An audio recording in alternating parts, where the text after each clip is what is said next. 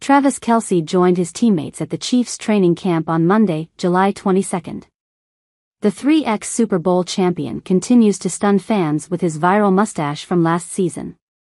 The Chiefs continue day two at training camp after a long break. Most of the squad returned earlier this week.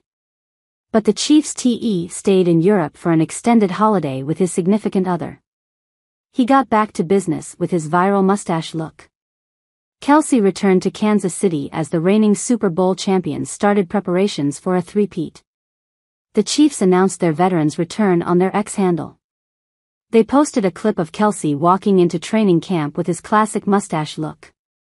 The return of El Travador, the Chiefs' social media team captioned the video.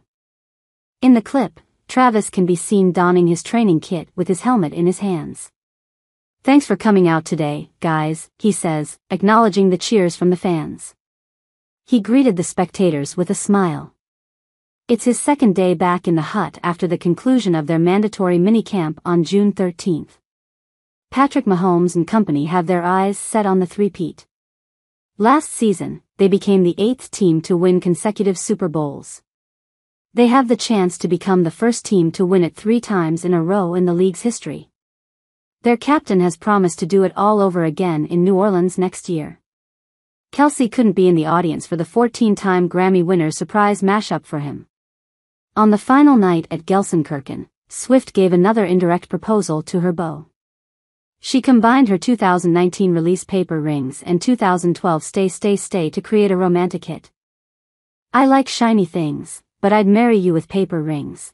That's right, you're the one I want. She sang Paper Rings before switching to Stay Stay Stay.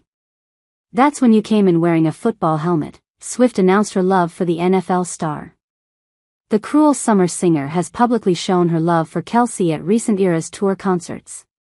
Taylor Swift mimicked Travis Kelce's Archer celebration in London and Ireland. The power couple also shared the stage at Wembley for the first time on June 23.